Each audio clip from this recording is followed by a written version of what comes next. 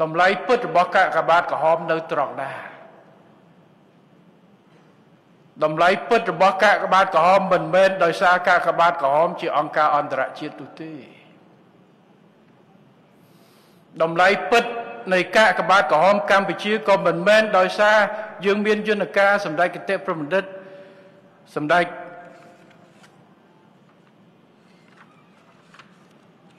ព្រះវរៈរាជបិតា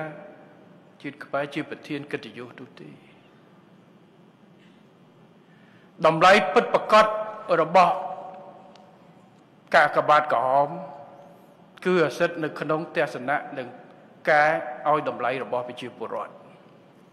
មិនមែនអាស្រ័យលើយើងពាក់កៅអៅស្អាតហើយឲ្យតម្លៃគ្នាឯងនោះទេគឺអាស្រ័យទៅលើប្រជាពលរដ្ឋ ដែលផ្ដល់តម្លៃថាកាកបាទក្រហមជាអង្គភាពមួយជាអង្គការមួយ ដែលគាត់អាចទុកចិត្តបានព្រោះរាល់ការលំបាកឃើញមុខកាកបាទក្រហមជួយខ្ញុំបែននេះហើយគឺជាតម្លៃពិតប្រាកដអញ្ចឹងមិនមែនស្ថាប័នមិនមែនឈ្មោះស្ថាប័នជាអ្នកកំណត់តម្លៃសមាជិកទេ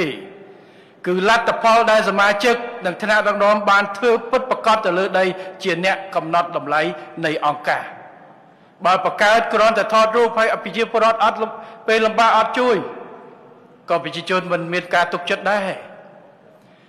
អញ្ចឹងទោះបីជាយើងធ្វើសកម្មភាពពាក់អាវកាកបាទឬមិនពាក់អាវកាកបាទក្នុងនាមកាកបាទក្រមឆន្ទៈទឹកចិត្តបំផុសមនុស្សឲ្យមានស្មារតី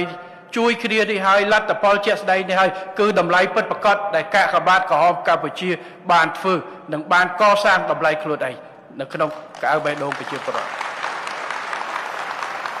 អញ្ចឹងអាស្រ័យទៅលើអីទៅលើសមាជិកម្នាក់ម្នាក់នឹងឯងសកម្មភាពអង្គការបកកើតនៅលើដី គឺអាស្រ័យទៅលើអ្នកធ្វើចឹងទាំងថ្នាក់ដឹកនាំទាំងថ្នាក់កដាលទាំងថ្នាក់រាជធានីខេត្តដែលធ្វើសកម្មភាពជាមួយនឹងសមាជិកទាំងយុវជនទាំងអី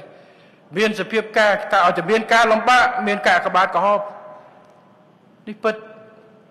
ដោយបងប្អូនមានចំណាប់អារម្មណ៍មកអញ្ចឹង នេះហើយគឺជាអ្វីដែលបង្កើនតម្លៃបង្កើតតម្លៃរក្សាតម្លៃនិងបង្កើនតម្លៃគឺនៅក្នុងការទុកចិត្តរបស់ប្រជាពលរដ្ឋរបស់យើងយើងជួយគ្មានរឹសនិន្នាការនយោបាយយើងជួយពេលដែលប្រជាជនមានការលំបាកតិចក្តីច្រើនក្តីនេះហើយគឺការបង្កើតតម្លៃការថែរក្សាតម្លៃនិងបង្កើនតម្លៃរបស់ការក្បាតក្រហមនៅក្នុងក្រអៅបេះដូងរបស់ប្រជាជនកម្ពុជា គឺលទ្ធផលជាក់ស្ដែងដែលគាត់បានផលពិតប្រាកដ